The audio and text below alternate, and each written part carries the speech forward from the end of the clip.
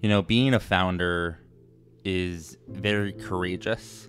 I'm not talking about waking up one day, calling yourself a founder, putting CEO in your LinkedIn and calling it good. I'm talking about every single day waking up, spending 12 hours working on something that no one thinks you have any business working on, going to bed the next day, waking up, and then and doing that for, for years on end. But but at some point, if if things work out, you start to push the the boulder over the mountain and things start to work out. And then all of a sudden things start to get not easier but people start to believe in you more. People start to like help you. They think you can do it um, you know this is what they maybe call product market fit well forward thinking founders is a podcast that highlights everything that happens before then we interview founders before they've figured things out, when they're still pushing that boulder up the mountain, not even sure if they're able to get up to the other side.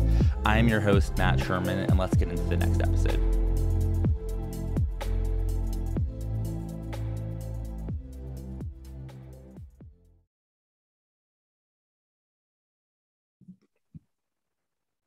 All right. How's it going, everyone? Welcome to another episode of Forward Thinking Founders, where we talk to founders about their companies, their visions for the future, and how the two collide.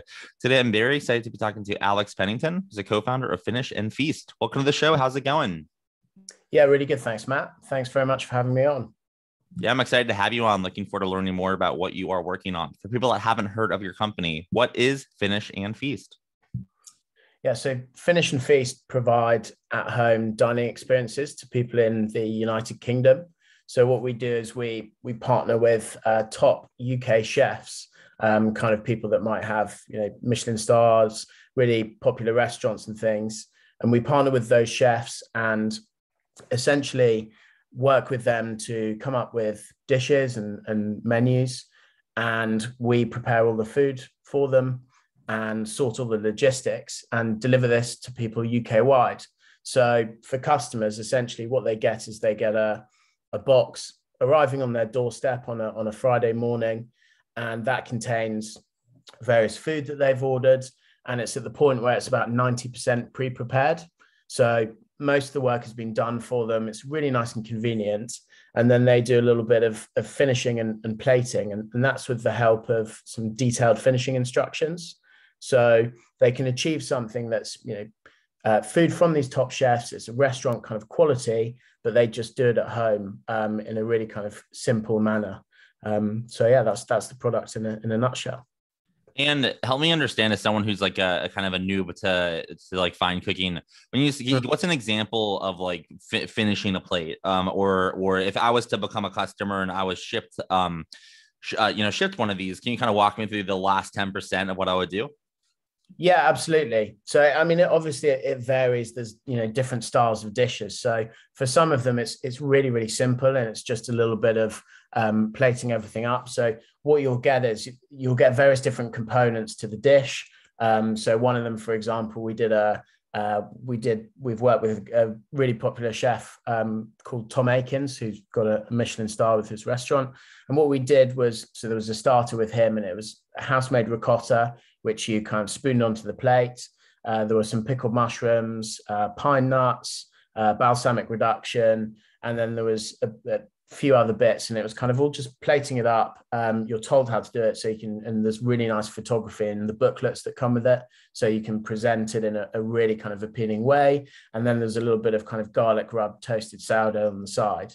Um, so really, really kind of simple. Some of them require a little bit of, you know, frying something off that might have already been kind of part cooked for you, and you're just finishing it off and heating it back up. But generally, it's it's really kind of heating things up, plating things. It's it's really simple because I think what we what we've always really wanted to do is is open up really nice dining uh, um, and really high quality food to people all across the UK, and you know, making sure that it's it's not really the preserve of people who who live in cities and are lucky enough to have loads of these great restaurants on their doorstep.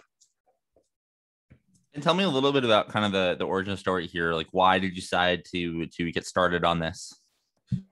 Yeah, so um, so I've, as you said earlier on, I'm, I'm a co-founder of Finish and Feast. So founded it with with one of my old friends from university, uh, Ross. Um, we uh, about kind of over a year ago started to see some of these I, I, guess kind of premium fast food brands in the uk so people like pizza pilgrims or uh, patty and Bun a burger company. Um, they were starting to do some of these at-home dining kits and it was really as a result of the covid-19 pandemic and diversification on, on their end. And we were looking at these coming out and we thought actually this is something that could really work at the higher end of the market.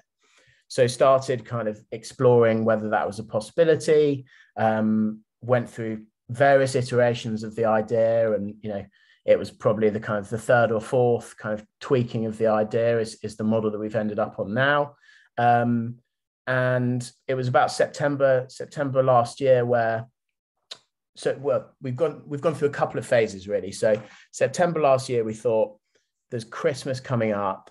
What would be a great way to kind of to launch finish and feast and give us a bit of a platform whilst kind of tapping into our more professional backgrounds that we had before so i used to be a lawyer and, and ross used to be an investment manager and we um we we offered basically to companies virtual at home christmas parties so we're sending kits to all of the employees. They'll all have a three course Christmas themed meal um, and you know, wine and cocktails included, and would do that. So that was kind of phase one, and we used that to get a bit of um, some some profits to launch the main finish and feast. So I did that for Christmas and then launched Main Finish and Feast in January and had a really kind of successful time um, since then. And that's that's led us through to a recent fundraise. And how have you kind of learned since you've been started with the company? What have been a couple of things that you've uh, learned that you didn't expect to learn uh, when you started the company? Yeah, well, it's been a very, very steep learning curve. Um, I think, I think it's it's. Firstly, I think one of the key learnings has been that you've just got to embrace the fact that the you will be constantly kind of changing in your ideas and and it's being really happy to embrace adaptability. So, you know, we we started we didn't expect to start with those christmas kits but we spotted an opportunity we went for it and it meant that we could fund finish and feast without having to take any capital on at the beginning. And then you know even the idea has evolved a huge amount as we've kind of learned and, and gone along. So i think adaptability is is a, is a really really key one. I think also it's just um well it, i had never stepped foot into kind of entrepreneurship before I'd been in, in, in that very much kind of corporate background as well. So it's um that's it's it's been that kind of unstructured lifestyle that comes with it. And the fact that every day is incredibly varied. You'll be doing all sorts of things. There's lots of firefighting that I think people don't necessarily see on, on the kind of the surface. So yeah, I think that's that's the other one as well. It's it's the kind of you know versatility and um, the fact that every every day is different and you have all sorts of new challenges, which um, which you kind of there's no one else to solve. You, you just have to roll your sleeves up and, and figure it out. And kind of zooming now into the future, what would you say Finish and Feast looks like in 5, 10, 15 years? What's the big vision here? Yeah, so I think what what we are really excited about is, as I said earlier on, the the ability to deliver really fantastic food into people's homes. So I think with Finish and Feast, I think it's it's building out a really exciting cohort of partner chefs that um, and, and really kind of developing our processes as we go along. So you know the dish development process when you're bringing something on is, is absolutely crucial because it's it's got to travel really well um, around the country in, in insulated chilled packaging. So you know, there's all sorts of, of, of, challenges with that. So it's it's taking all the learnings as we go along and, creating a really compelling at-home offering for people, um, and being able to deliver top quality food that people can finish easily at home. And you know, they might use it for dinner parties or uh, date nights, or as you know, as a way of just giving the family a, a, a, real treat on a weekend and you know i think it's so th- there's all sorts of opportunities and when you have the ability to kind of create high quality food and, and deliver that into people's homes i think there's a lot of other really exciting avenues to explore as well so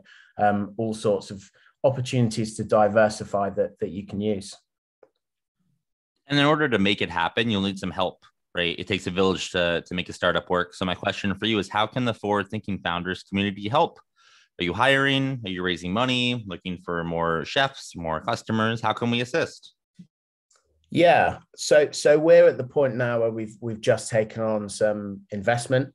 Um, so we're now kind of you know delivering on all of those promises that we've we've made to, to the investors that have been um, kind enough to, to decide to come on the journey. So I think where, where, it would be fantastic for some help from the forward thinking founders community. Well, firstly, I think you know those based in the UK, it'd be, be wonderful if they um, wanted to try one of the boxes when we when we get back um, with the production, which we, we will be launching very shortly. I think it's also that um, myself and Ross are always of the opinion that we we find it really interesting speaking to people and getting advice from others. So if there is anyone who has any kind of insights on um, you know food production, food delivery, all, all of those kind of spaces, um, probably you know ideally based in the UK, but not necessarily, then we'd love to we'd love to have a chat with them. Um, we're also you know at the point where we're now looking to build out our board a bit and get some people on that. So if anyone did have any contacts with people that might be be really useful and, and might be interested in those kind of board positions, that would that would be um, fantastic for some intros. And then if someone was interested in any of the above and they wanted to reach out, um, how can they reach out? Do they have a website, so, social media account? Do you have an email address? How can someone learn more?